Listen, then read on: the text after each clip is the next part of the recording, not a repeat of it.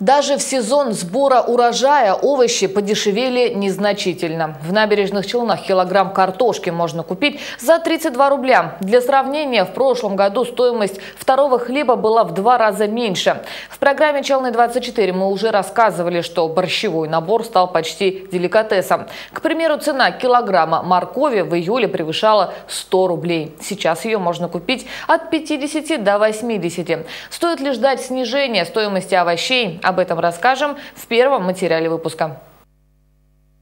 Пошла за морковь. Раньше она была 15-17, самая дорогая, а сейчас 47-57.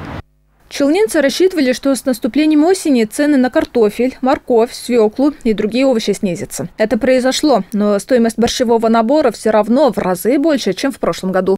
Все подорожало нынче. Все, свекла, картошка, морковь, лук. Конечно, морковь подорожала под 100 рублей, 79-80 рублей. Я брала месяца два назад. А сейчас она уже в магазине, ну, порядка, наверное, 50.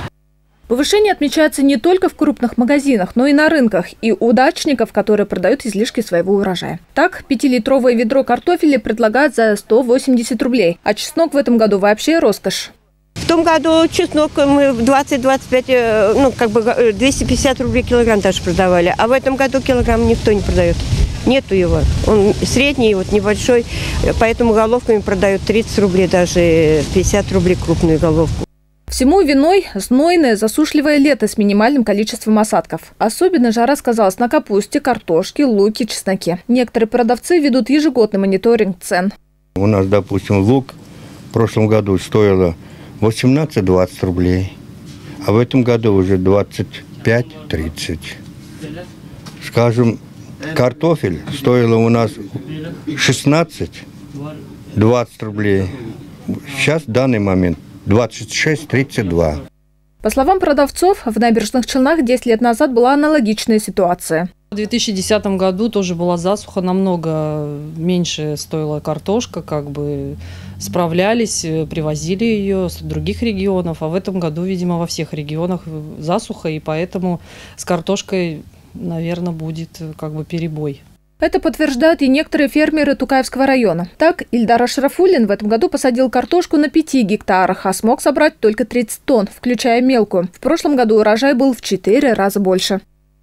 Морковь цикла вообще даже не взошла из-за того, что дождей не было. В том году мы продавали по 10, по 12 рублей картофель. В этом году пока уже 30 рублей килограмм. В дальнейшем, думаю, 25 рублей оптовая цена будет. Снижение цен прогнозируется, когда в Челнах начнут работать сельхозярмарки. Уже завтра, 11 сентября, начнут работать сельхозярмарки. Они расположатся недалеко от стадиона «Строитель» на территории ипподрома и агропромышленного парка «Южный».